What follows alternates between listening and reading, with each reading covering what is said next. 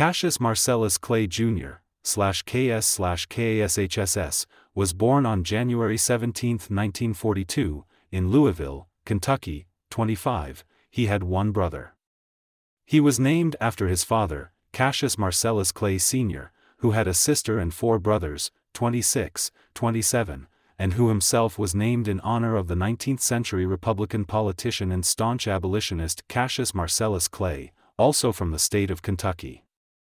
Clay's father's paternal grandparents were John Clay and Sally Anne Clay. Clay's sister Eva claimed that Sally was a native of Madagascar, 28, he was a descendant of slaves of the antebellum South, and was predominantly of African descent, with Irish, 29, and English family heritage, 30, 31, Ali's maternal great.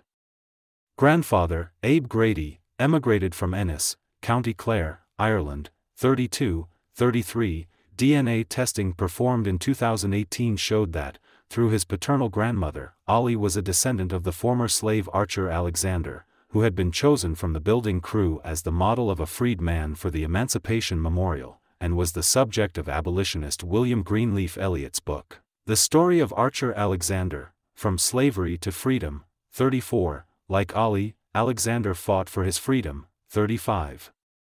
His father was a sign and billboard painter, 25, and his mother, Odessa O'Grady Clay, 1917 to 1994, was a domestic helper. Although Cassius Sr. was a Methodist, he allowed Odessa to bring up both Cassius Jr. and his younger brother, Rudolph Rudy Clay, later renamed Rahman Ali, as Baptists. 36, Cassius Jr. attended Central High School in Louisville. He was dyslexic, which led to difficulties in reading and writing, at school and for much of his life. 37. Ali grew up amid racial segregation. His mother recalled one occasion when he was denied a drink of water at a store, they wouldn't give him one because of his color. That really affected him. 9. He was also strongly affected by the 1955 murder of Emmett Till, which led to young Clay and a friend taking out their frustration by vandalizing a local rail yard. His daughter Hannah later wrote that Ali once told her, Nothing would ever shake me up, more, than the story of Emmett Till. 38, 39. Amateur career. Cassius Clay and his trainer Joe E. Martin, January 1960 Clay was first directed toward boxing by Louisville police officer and boxing coach Joe E. Martin, 40, who encountered the 12-year-old fuming over a thief's having taken his bicycle. He told the officer he was going to whoop the thief. The officer told Clay he had better learn how to box first. 41. Initially, Clay did not take up Martin's offer, but after seeing amateur boxers on a local television boxing program called Tomorrow's Champions, Clay was interested in the prospect of fighting. 42. He then began to work with trainer Fred Stoner, whom he credits with giving him the real training, eventually molding my style, my stamina, and my system. For the last four years of Clay's amateur career he was trained by boxing cutman Chuck Bodak, 43.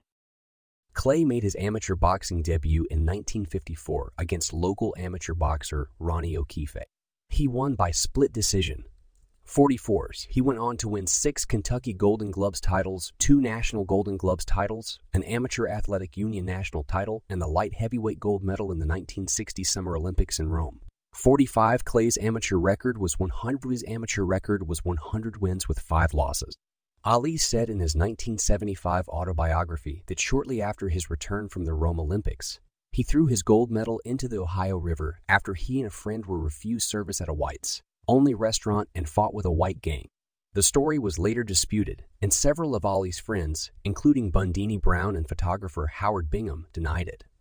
Brown told Sports Illustrated writer Mark Kram, Honky sure bought into that one. Thomas Hauser's biography of Ali stated that Ali was refused service at the diner, but that he lost his medal a year after he won it.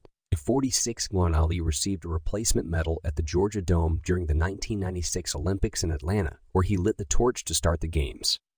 Clay made his amateur boxing debut in 1954 against local amateur boxer Ronnie O'Keefe. He won by split decision, 44s, he went on to win six Kentucky Golden Gloves titles, two National Golden Gloves titles, an Amateur Athletic Union national title, and the light heavyweight gold medal in the 1960 Summer Olympics in Rome. 45 Clay's amateur record was 100 his amateur record was 100 wins with 5 losses. Ali said in his 1975 autobiography that shortly after his return from the Rome Olympics, he threw his gold medal into the Ohio River after he and a friend were refused service at a White's only restaurant and fought with a white gang.